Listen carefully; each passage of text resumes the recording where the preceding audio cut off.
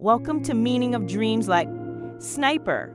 Dreaming of snipers often represents feelings of vulnerability, fear, or a perceived threat in waking life. It symbolizes hidden dangers or enemies, as well as a sense of being targeted or hunted down. This dream can also indicate a need for caution and vigilance in your personal or professional life. In our dreams, snipers are known to reflect people who are hidden out of sight from you, but has the ability to direct anger or some sort of personal attack.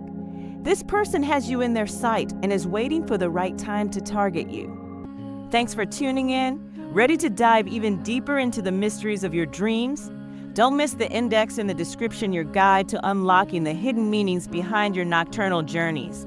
Stay curious and see you in the next video for more dream discoveries.